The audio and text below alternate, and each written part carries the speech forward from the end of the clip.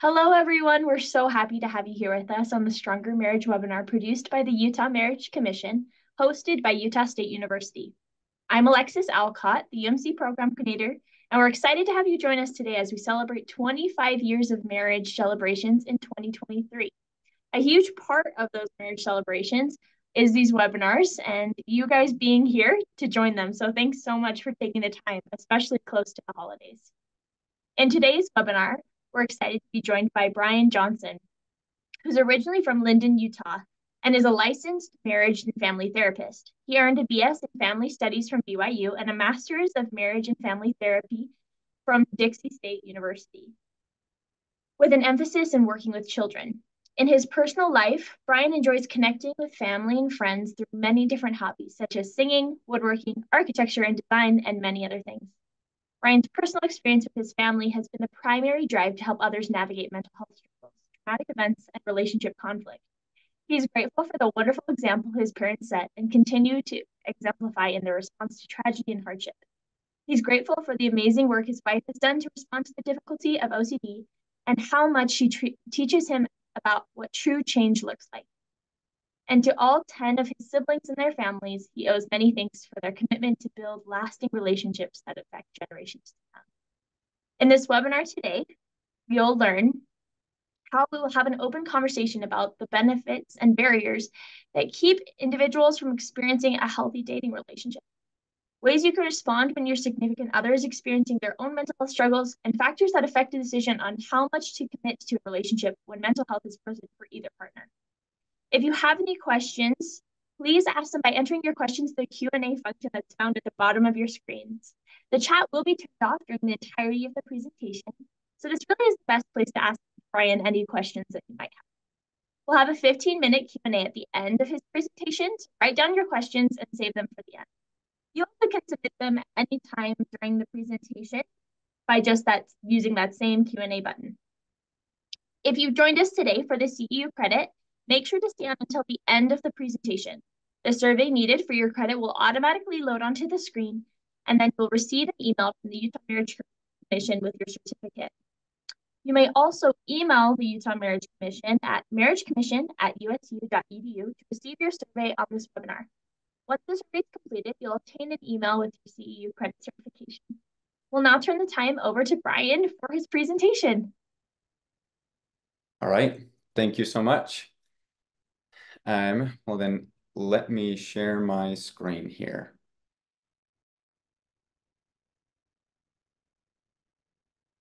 Hope this works like it was. Okay, Alexis, you, awesome. We're, we're good, showing right? Yep, everything's um, looking great.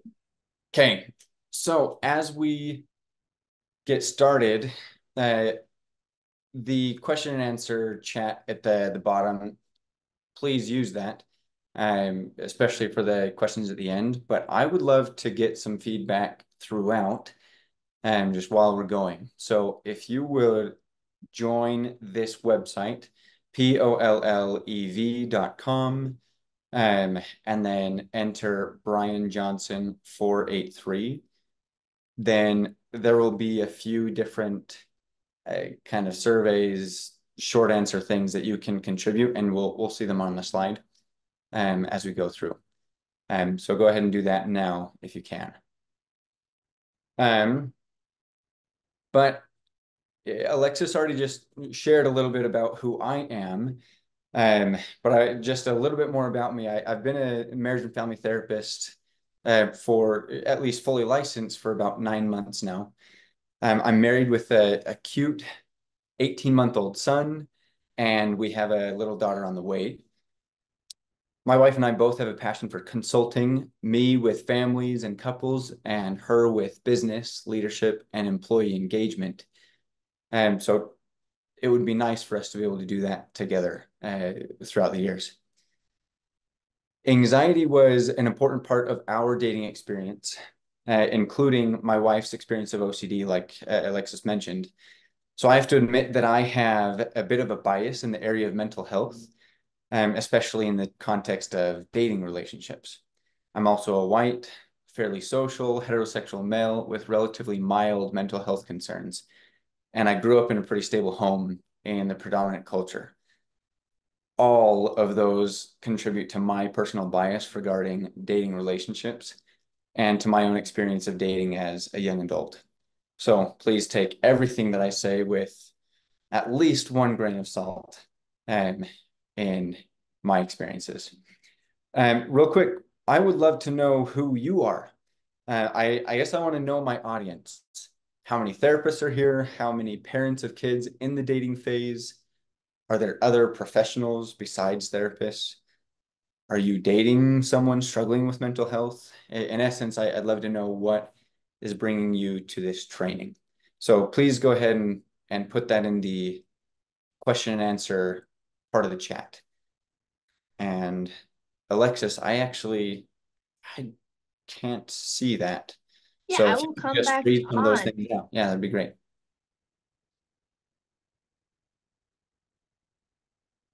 So it looks like so far we have an MFT who's come here from Utah. Another who's an MFT.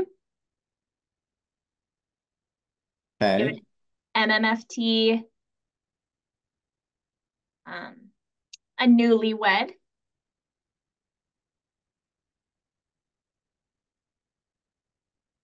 And then we have another LMFT, a CSW. Okay. Looks like mainly professionals tonight. Brian's okay. dad, your dad's here. awesome, Dad. Um, okay. So uh, a lot of professionals, my dad, so we'll see if I learned enough from him uh, with dating, right? Uh, but then also the a newlywed. I, I'm so glad that you guys are that you're here as well. Um, I apologize if the language that I use in the presentation doesn't fully fit like your situation necessarily. Um, I'll do my best to apply it to you guys, right? And especially with the questions that you you want answered today. Um, and I, I guess I'd like to know that next. What what questions do you want to have answered um, we've got a few, and if you weren't able to join yet, go ahead and join this polev.com slash Brian Johnson 483. You can use this uh, QR code in the top. Um, just want to know what you guys want to know today, besides what I already have on the agenda. Looks like we've already got how do you help someone with their mental health when they don't know what they're struggling with? How do you help someone with their mental health? Oh, we've got that twice. Okay. Alexis, if any are coming in, I guess I'm an aspiring MFT master student and I'm currently dating an individual with mental issues. Okay.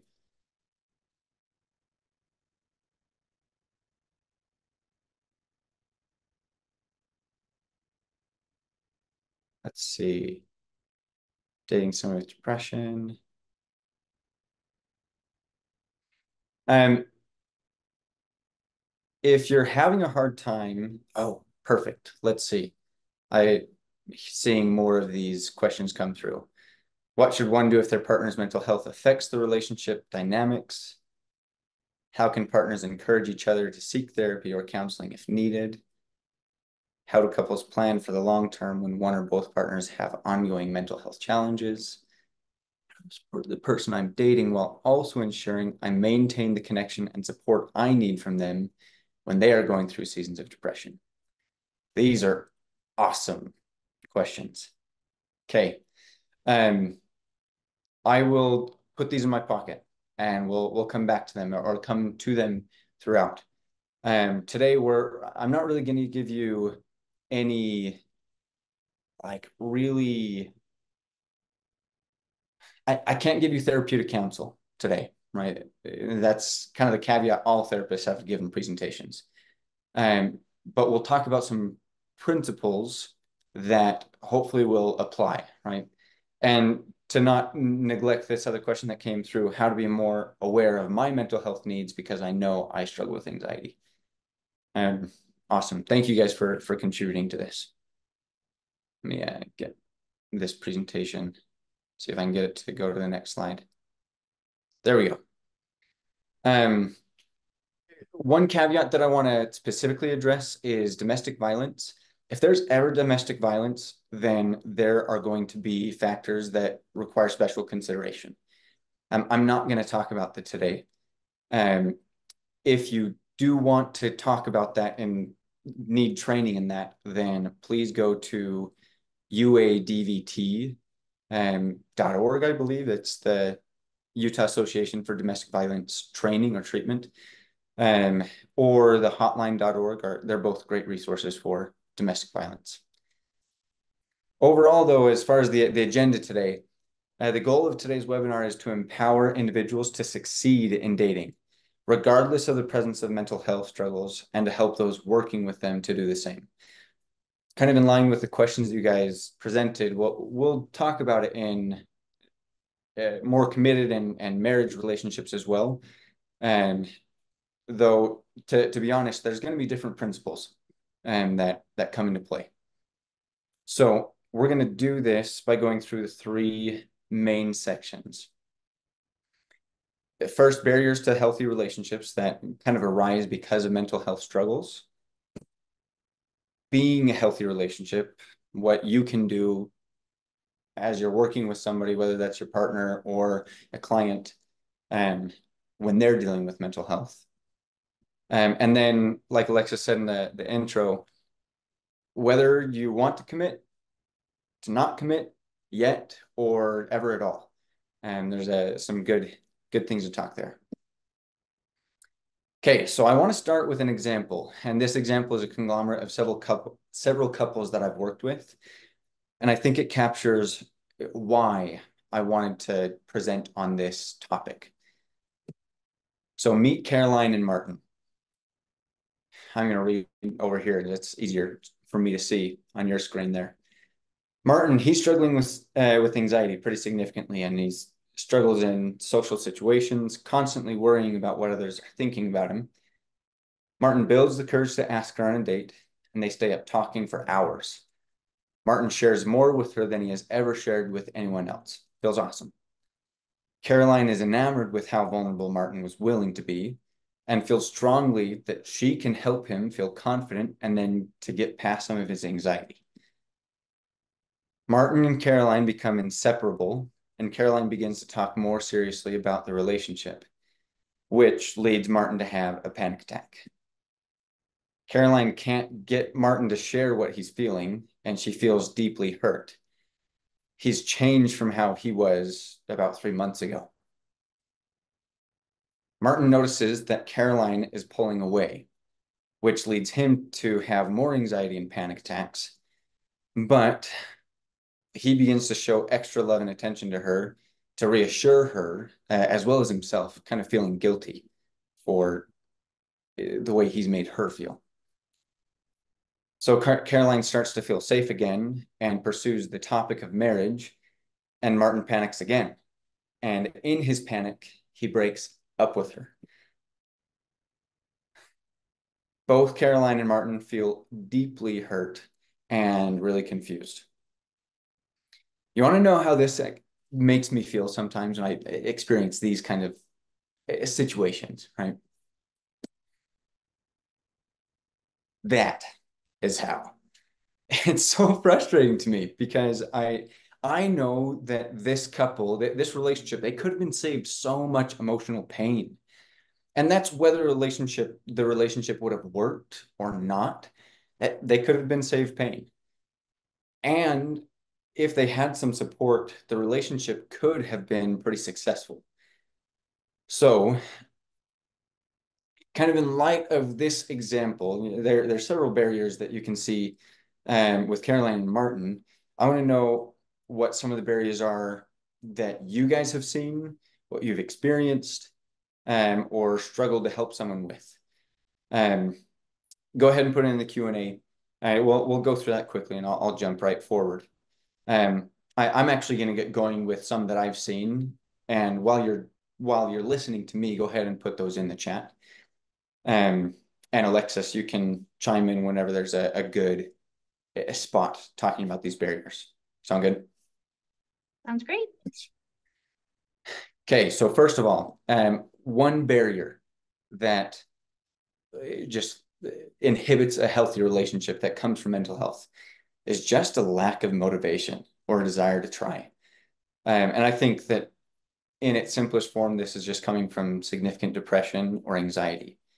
And um, not only that, I think mental health, like working with your mental health, especially if you're struggling a lot, it's exhausting. Um, and it can be overwhelming to, to even think about just getting through individual days. And so there's not a whole lot of drive to get out and do it. Another thing would be anxiety over committing um, or just the fear of missing out, which honestly, this is a totally normal experience. Uh, I don't think this is necessarily a major mental health struggle. But when there is a major mental health struggle, this can be crippling and to not feel free to commit or there's so many fears about committing right?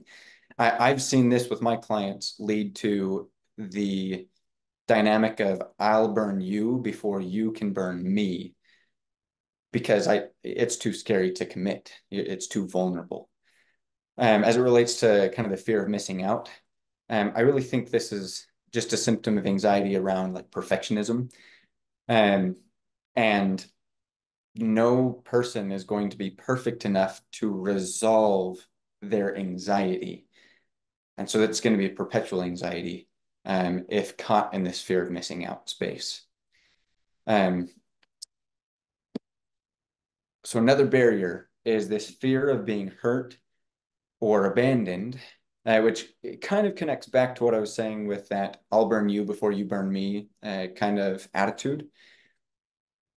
But kind of going into this aspect of lack of trust in close relationships and and abandonment i think it often goes back to trauma uh, whether that's a little t trauma or a big t trauma and the way that i perceive this when i'm working with a lot of my clients is that the distrust that they have their partner is actually because of how they remind them of someone in their past which is that idea of, of transference uh, which to us therapists that's going to be a lot uh, I hope that's a really familiar term for you. So this might keep someone from ever being in the relationship because like they remind them too much of somebody else and it's too scary. I'm too worried they're going to abandon them. But it also might drive an unhealthy relationship by kind of repeating those same patterns from that other relationship um, and kind of getting sucked into it.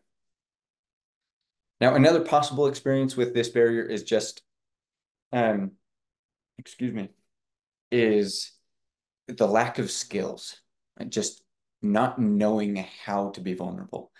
Whether that's because of their family dynamics growing up, and personality, and temperament, but overall, like if, if you're struggling to be vulnerable, you're going to struggle in a dating relationship.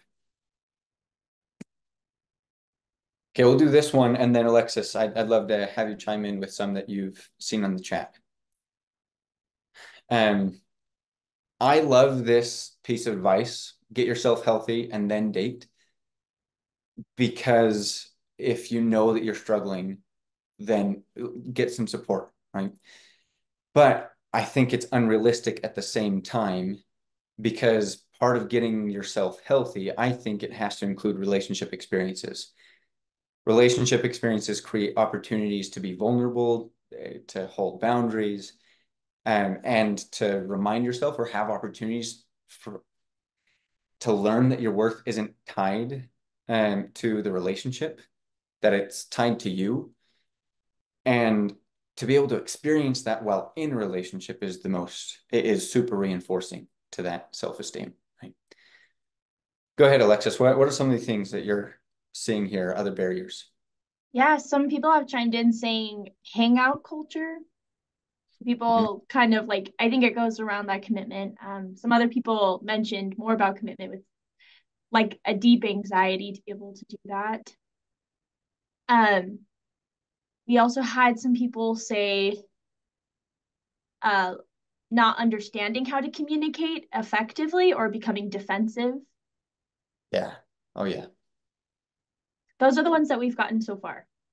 Okay, awesome. And I, I don't know that we need any more. Those are great. Um, I especially just want to chime in on this, uh, the not communicating effectively and getting defensive. Mental health, Uh, one thing, especially from CBT, cognitive behavioral therapy, we talk about like cognitive distortions. And so we we begin to interpret and skew things in such a way that we we just don't see things accurately and our partner might actually be communicating very effectively but we're not receiving it well or because we're skewed and we're not seeing things effectively what we're communicating is actually pretty triggering right? and doesn't make sense to the other person because it's not fitting reality. And there's so much that we could dive into with that, but I, I really appreciate that comment. Um, the next one that I'll I'll hit on a little bit more here is sometimes a relationship will appear healthy and it, it's going really well that there's no signs that it's unhealthy and then something flips and it becomes entrenched, entrenched in these really destructive patterns. John Van Epp, Do Dr. Van Epp, um, he wrote a book called How to Avoid Falling in Love with a Jerk. And he talked about the three month rule. It, basically, it takes three months for these deeper patterns to begin to emerge. Many relationships begin in this healthy space more with an emotionally driven relationship and so they become committed too soon. And then they fall prey to the patterns that then come out. I think that these patterns are deeply connected to mental health uh, as well as trauma. And because they take so long to present themselves in a relationship, it's really difficult for someone to work on without being in a relationship. They, they might not realize for themselves that they are coming out um, or that they haven't that they're there, right? It surprises both partners when the relationship turns sour. Um, but when it does turn sour, these patterns come out. It can be so, it can be so difficult for the relationship to navigate it that it dissolves before they're ever able able to actually work through, I guess, the healing or the understanding processing personally that would help them to be successful in the relationship. Um, I, I've seen that happen um, several times. And, and I, I honestly haven't even been a therapist for that long. Um, so I, I'm sad to say that I've seen it more. Really quick, Brian. Um, yeah, go ahead. Along with the John Van Epp course, that's actually a course that we provide through our Healthy Relationships Utah.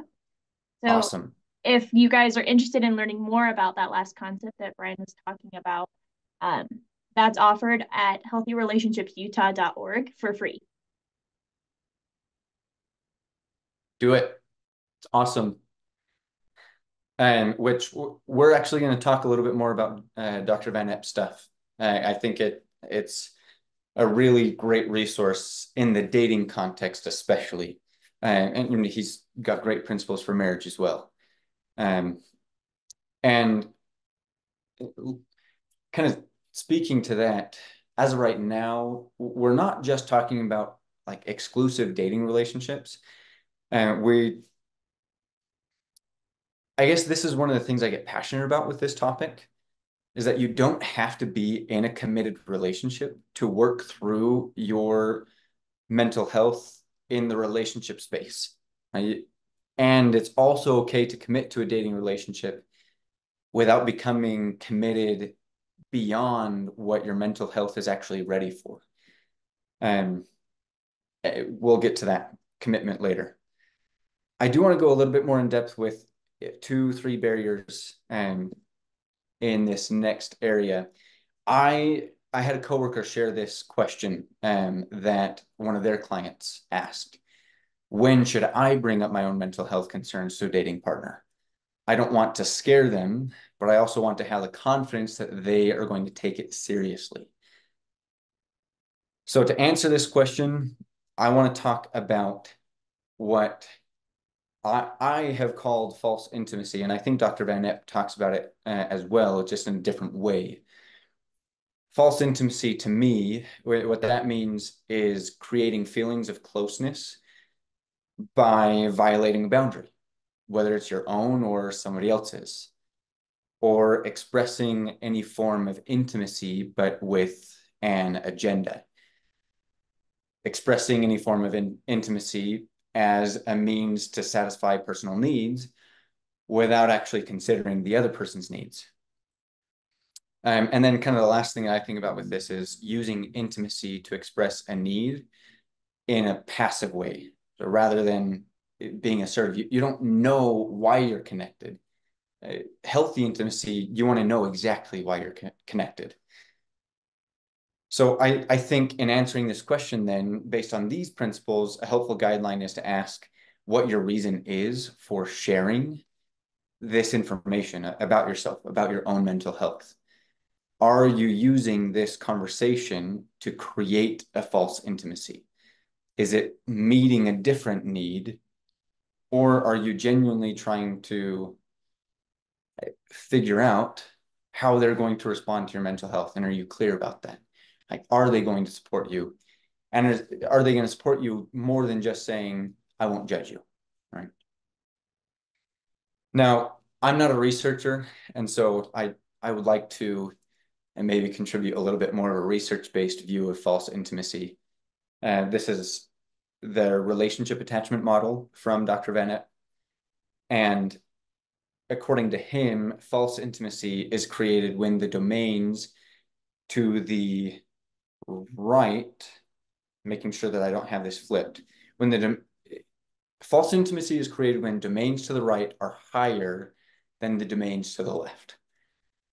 He states that you set yourself up for emotional pain when that false intimacy is created.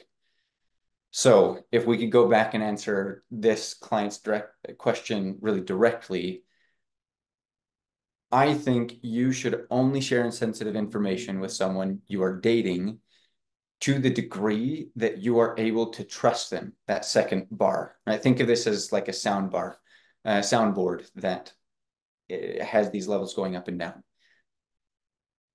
By sharing sensitive information about yourself, you're relying on them to support you with your mental health. And it's in, like I said, it's much more involved than just saying, I won't judge you. It's supporting in therapy, it's financial support, maybe. Um, it's being willing to take the time to understand somebody's perspective and how it affects them, right? You're relying quite a bit on them. So you want to know that you can trust them to respond without that judgment and be willing to embrace what kind of support you might need. So you need to know that those scales are going to be high enough. Um, otherwise, you're going to set yourself up for pain and that false intimacy. I hope that's uh, clear as mud. Um, to maybe make it a little bit more clear, let's uh, go through a simple example. This is another picture of my son. He's he's adorable. This is story time for you guys.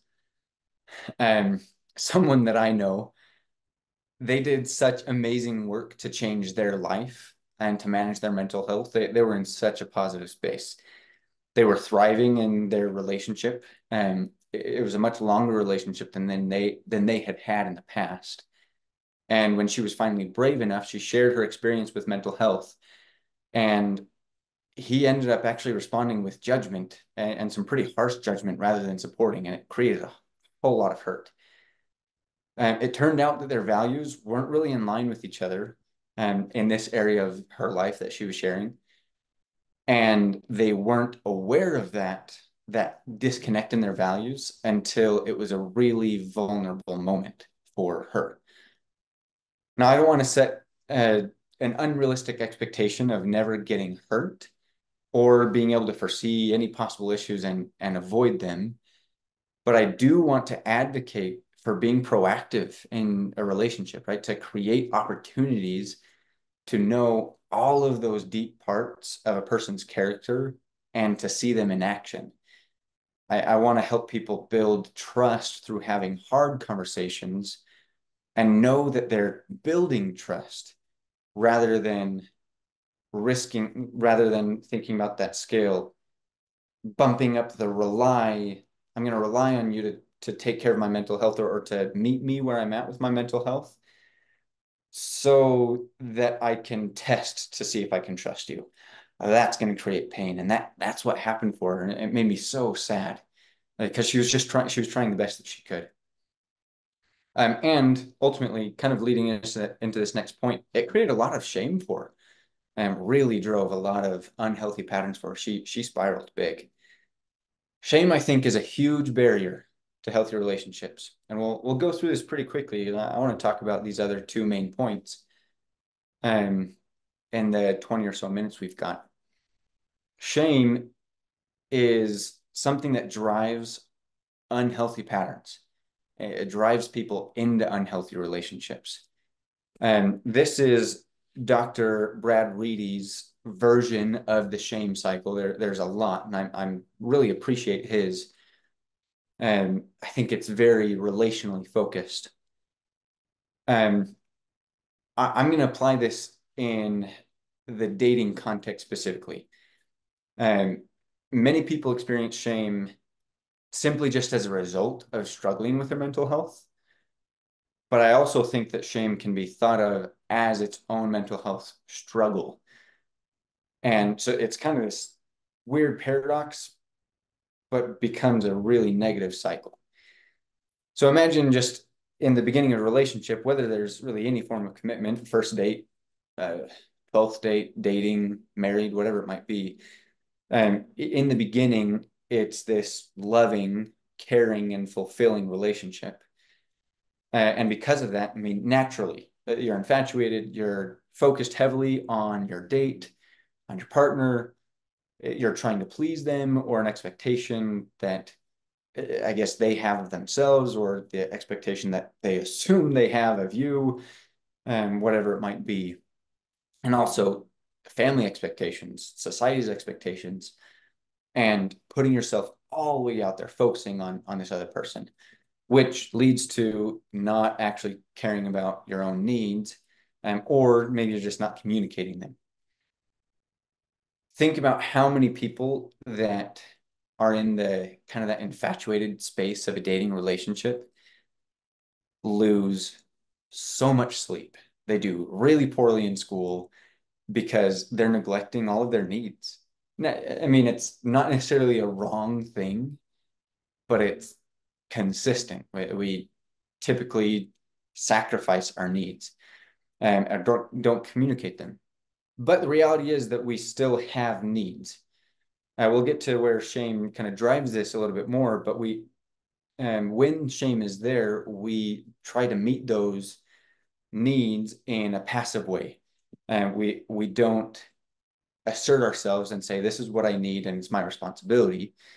Um, rather, we meet it by these passive comments through other relationships, maybe stepping outside of the relationship going on another date without the other person knowing, hanging out with friends, avoiding the other relationship because you're getting exhausted by it, um, or becoming too clingy because you know you just want all the attention and maybe that'll meet your needs.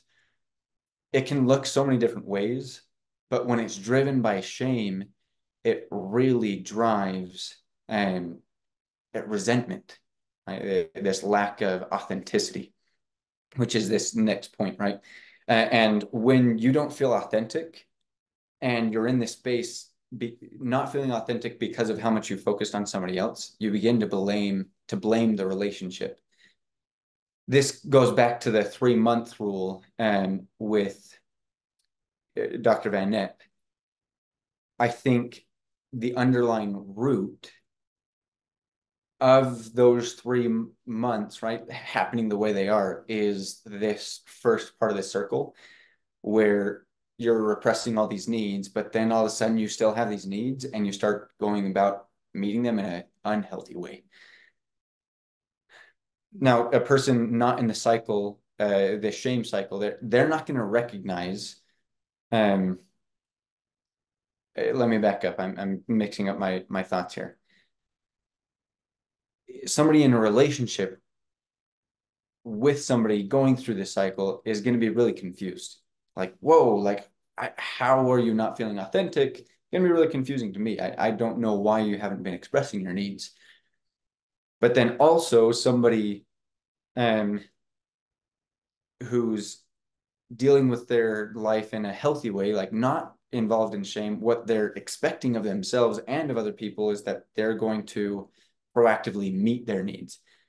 If they recognize that they've not been meeting them, they're going to adjust. They're going to take accountability for it and responsibility for meeting their needs. So that it, just a, a little point there is that's one way that we can help, whether that's our clients, ourselves, maybe the person that we're in a relationship with, is that point is helping them be assertive about their needs and recognizing that they they have the ability to meet them on their own, right? And without feeling inauthentic or or disappointing the relationship. But kind of continuing with the shame, if you don't recognize that, that resentment builds, um, leading to even stronger maladaptive uh, actions, whether that's um, this manipulation, control, whether that's coming from anxiety um, or uh, the manipulation space. Um, but also just instead of just being passive, being passive aggressive, getting a little bit more mean, stonewalling, kind of seeing the relationship especially as the problem and ultimately leading to this blow up, right? In the dating context, I think this looks very different than in a marriage that's committed because you have ghosting, right? You have just the easiness of ending the relationship um, in a sense by just sabotaging, right? Sabotaging might be just by lashing out, right? Or sabotaging it by getting so depressed or anxious that, that you just can't function. And so you kind of tune out to the relationship or aren't giving anything to the relationship anymore. Eventually, this leads to more awareness of like, okay, wow, I can see that this really isn't going well, or that relationship ended poorly, and I realized that I blew up and did that, uh, or I've been so depressed. And we start to realize that we want to change, but the shame would say that it's because of how bad of a person you are. And so they say, okay, I'm going to change because I'm a bad person. Like I, I need to do better. I need to care about people more because I'm not good enough. And if the relationship didn't end and it continues, then they're going to fall kind of into that same uh, pattern though, where they're they're loving and caring, driven by this self, uh, this hurt self image, and kind of going back to Caroline and Martin's experience, they'll think that things are all fine, but then it'll blow up again later. Okay. This was a lot, a little bit of a fire hose. I, I, I hope it all is connecting. Um, and we spent most of this time on the barriers, but I guess now I, I want to go into what it means to be a, a healthy relationship. Um, as we transition into what it looks like to being a healthy relationship, I want to specifically, especially for you therapists right now, I, I want to step away from thinking about what kind of treatment someone needs to work through and to be able to have a healthy relationship. Because I, I want to think more about what it looks like to be that healthy relationship, whether you're a partner or the therapist. As a therapist, I, I really believe that your relationship with the client um, is an uh, is a part of that change, right? Something that can help them. I think healthy relationships can help people, but it has to actually be a true healthy relationship. You can't um, sacrifice yourself, right? So, um, I want to know on this same survey and you can put it in the Q&A. I'm fine with that. You can put it in this um, website. Just what does a healthy relationship look like? Describe it in one word. What are some of the things you see? Awareness, communication.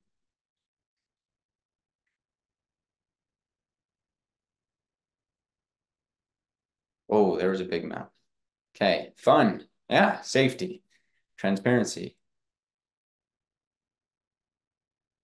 trust. Sounds like a lot of people think that communication is a really important part. Boundaries, healthy dedication, integrity. Okay, you, feel free to keep adding to this. We'll stay on the slide for a bit while I talk.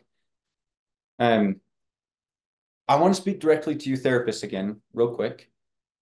Think about how you being this way can help your clients. How you being safe, having fun with your clients, showing respect and showing respect for yourself, for your your boundaries around your time, your boundaries and transparency around your time, right? What what you expect of a client, of the way that therapy is going to go, right? But also being aware of where they're at. Um, I especially think that just being aware of body language, being aware of their emotional state, uh, super important, super super helpful. And keep these all in mind as we talk about what what it really looks like to be a healthy relationship. Um, some of the things that I um, I guess I want to convince you of right now is that relationship experiences genuinely, they really are important.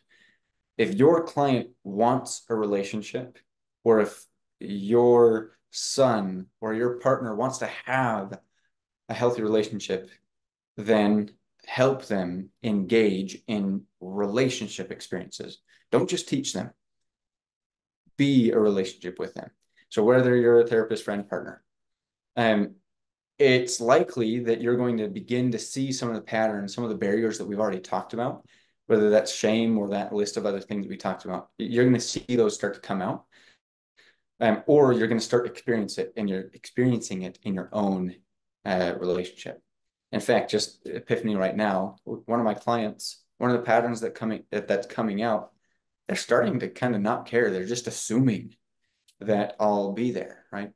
So they they forget often they're, they're very clear they're very consistent i love it we're doing some great work but a pattern is starting to emerge that i i'm beginning to experience with them right so i, I can use my relationship and to help hold a boundary in that okay so being in a healthy relationship don't try to be their savior even if you're their spouse even if you're their best friend even if you're their therapist and you're trying to like help them, right? You're trying to fix them.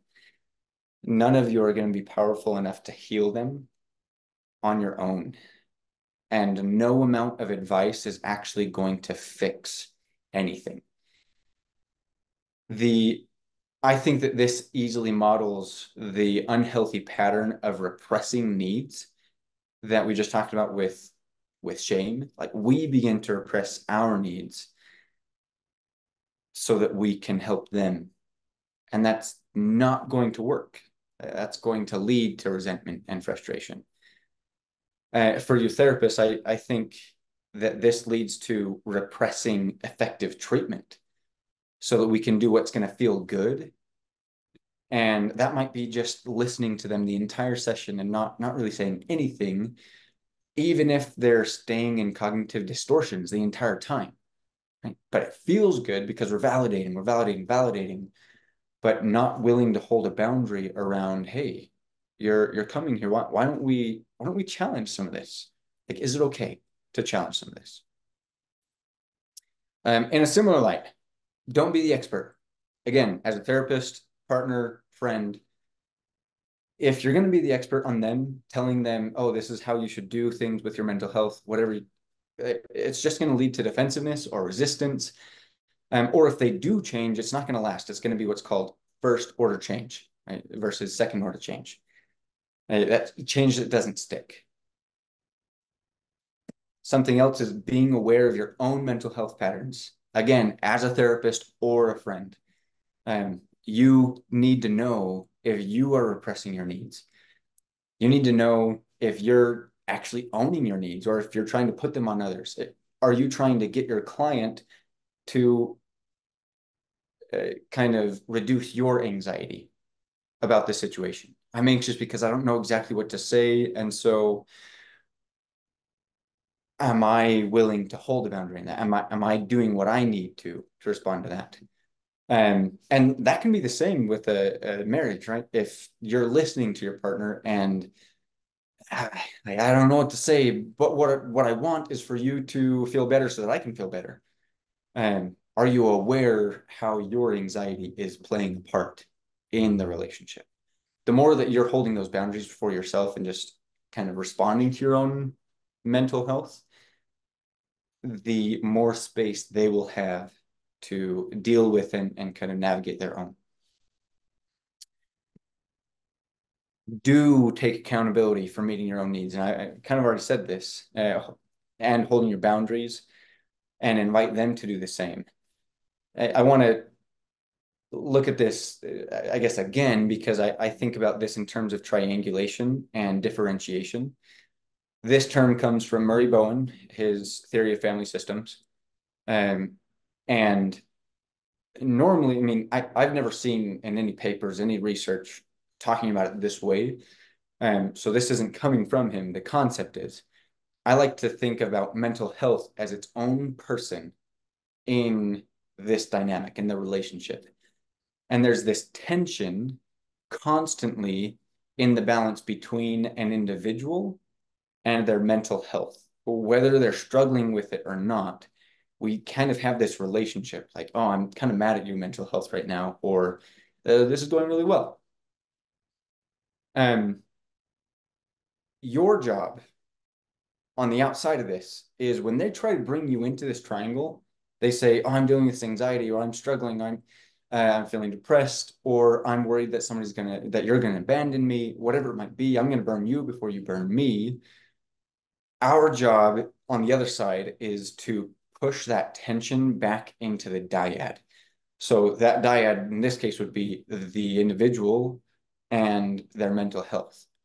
So reminding them or just in a gentle way saying, this is your work.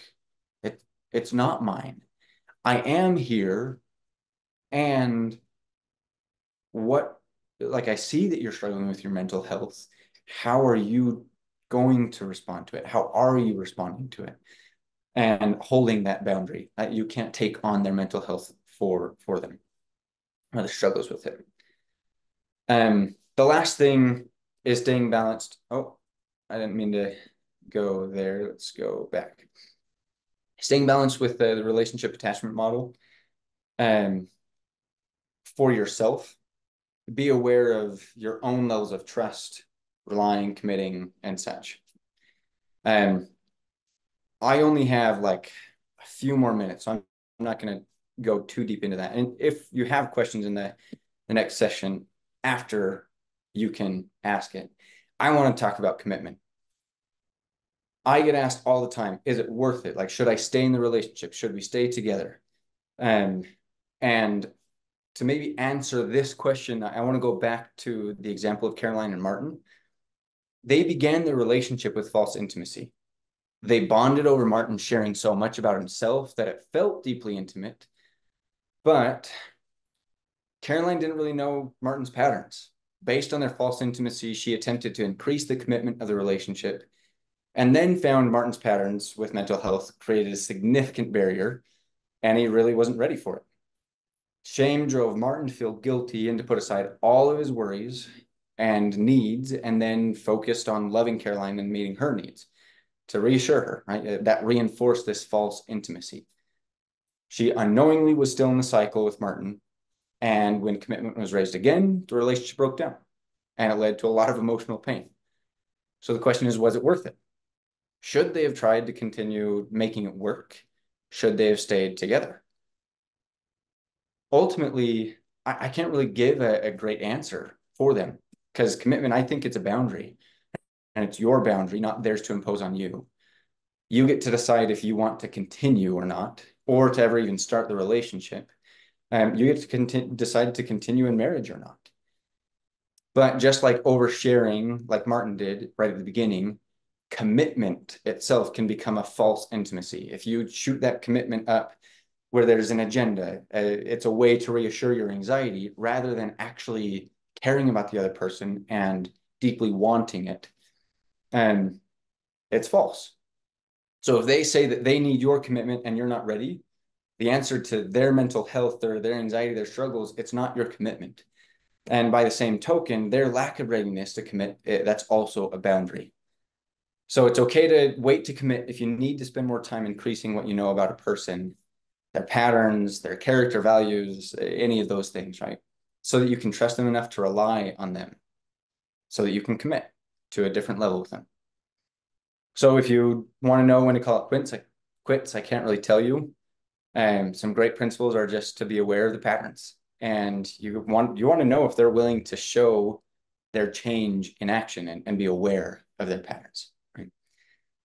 Um, as straightforward as it might sound, you have to know what you're okay with and then what you're not okay with. And if it doesn't, what you see, if it doesn't align with what you know and what matters to you, you're going to be the one that's going to have to reconcile that, not them. And so you have to hold your own boundaries. Um, I highly recommend this book, How to Avoid Falling in Love with a Jerk by Dr. John Van Epp. It'll talk a lot more about commitment. Um, he I mean, obviously he wants to help you falling in love with a jerk, which, I mean, mental health doesn't make somebody a jerk, but you don't want to get hurt deeply if it's avoidable. Um, this is a presentation I want to keep improving. Uh, so I would love for you guys to fill out um, those surveys, um, both for the um, continuing education, the CEUs, as well as I've the the last um, survey on that website should pull up and you can answer just a few questions, rate me, rate my presentation, and, and give me some feedback. But let's chat. What, what questions do you have? Thanks for being here. Yeah, thank you so much, Brian. And uh, everybody, just a reminder, you can put your questions in that Q&A function that's at the bottom. This has been such a great presentation, so thank you so much. Yeah. Um, we have one question so far. Um, how can I remind my partner that they are enough and to avoid shame? Mm, really good question. How can I remind my partner that they are enough and avoid shame? Um, the thought that goes through my mind in this is when you're communicating, if somebody's enough, um, there, there's a principle that comes from motivational interviewing um, that, it, I mean, it's rolling with resistance. You you can't convince someone to change. Like that's feeling resistant. If they are in this deep space if they're not ready to change you can't you're not going to convince them. So you're not going to convince them that they're enough. But what you can do is you can just be there with them. If they're talking about that they're i'm not feeling enough or i'm not doing good enough you can just validate kind of rephrase reflect it's a communication skill there just reflect like, yeah, like you're having a hard time believing that you're enough. It's hard for you to know that you're enough. Even when logically you see that you are. The more that you validate, because the reality is that that battle is already in there for them, that tension.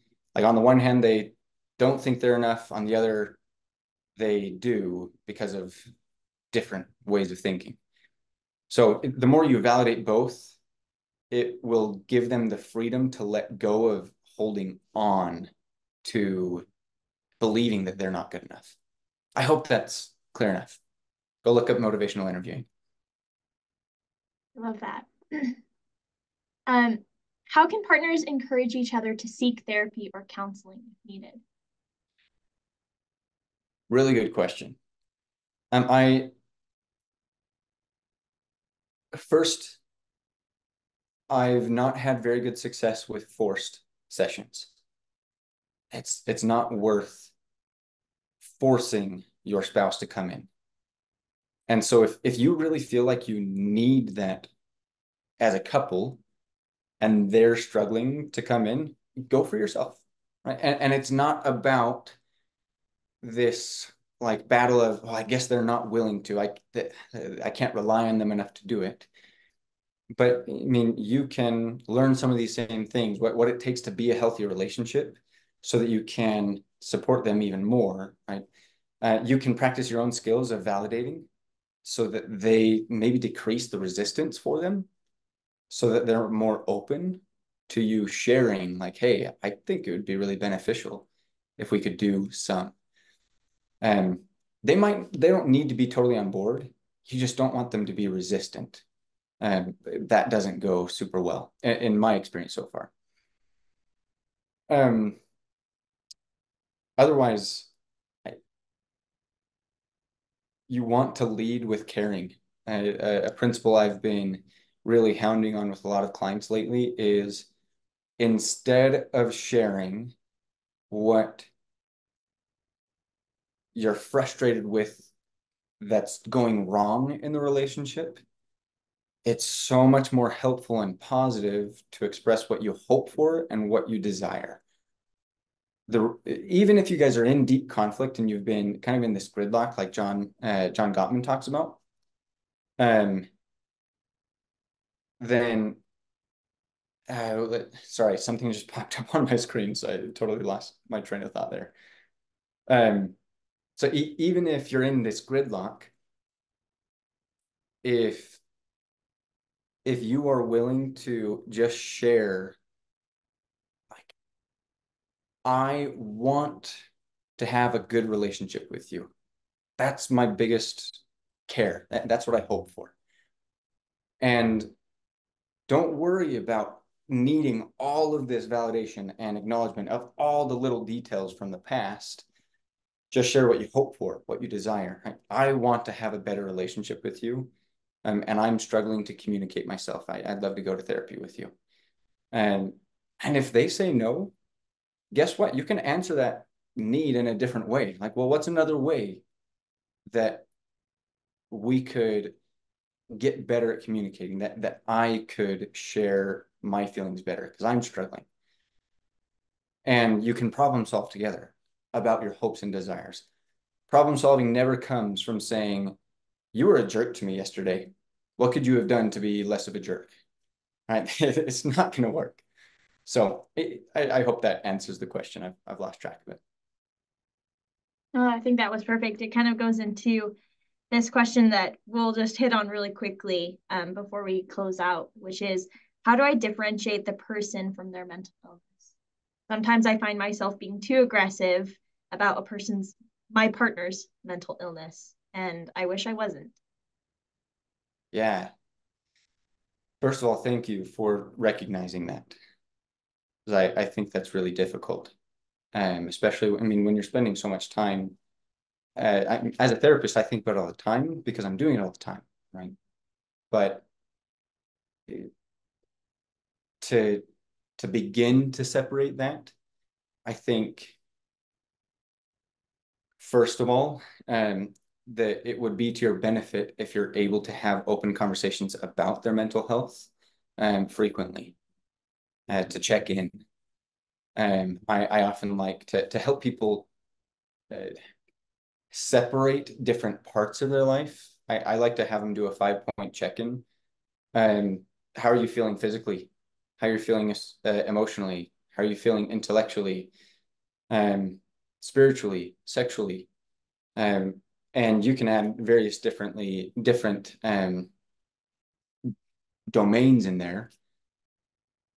But when you're able to see the person for more than just the attitude they're having in front of you, their answers will help you see where their mental health is affecting it rather than kind of this uh, all being kind of thrown at you because like Uh, I mean the most common thing that people think is it's me I'm the problem so you're mad at me because I did something wrong but I don't think I did anything wrong anything wrong so I'm mad at you right and it doesn't go well so if you can check in take a step back check in how are you doing physically? Are you hungry?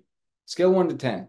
And I, I typically in session, especially, I have people scale those and ask, why a seven instead of a, instead of a five? That's awesome. Like I would have kind of assumed you'd be at a four with what you've just been describing. I, I had no idea. Like things are going well for you. You're going to the gym, whatever it might be. Right. So breaking that down gives you a better picture of who they are. And my recommendation in some way is having that kind of conversation once a week. Otherwise, you don't know what's going on for your partner and they don't know what's going on for you. Okay. Well, thank you so much, Brian. How can people reach back out to you? You said that you would like people to, if they have any other questions about things, reach out to yeah. you. How can they find you? Yeah, let me uh, see if I can. There's a polar quiz that's keeping me from moving. There we go. Um, I, I really don't do a whole lot in this like presenting sphere um, right now. I'd love to do more. Um, I, I really just do therapy. And so I, I'd love for you to contact me. This is my web, uh, my email. You can look up our clinic uh, at utahtherapy.com. I work in Orem. And I'm happy to do presentations and on this topic, any other topic, and whether that's in community settings, uh, employee and business settings, um, or if you just want to to talk a little bit more about this, I'm I'm happy to. Um, just need to schedule it. So love to hear from you. Perfect. Thank you so much, Brian. And thank yep. you everyone for joining us for this webinar. We're so grateful for your questions and participation tonight. Once again, if you attended this webinar for the CEU credit, please make sure to stay on until the end of the webinar. The survey needed for your certification will automatically load onto the screen. And then once you've completed that, you should get a certification email back from us at the Utah Marriage Commission. If for some reason it doesn't load, please just email us at marriagecommission at usu.edu for that certificate and completion survey. Thanks so much, everybody. Happy holidays, and thanks, Brian. Bye.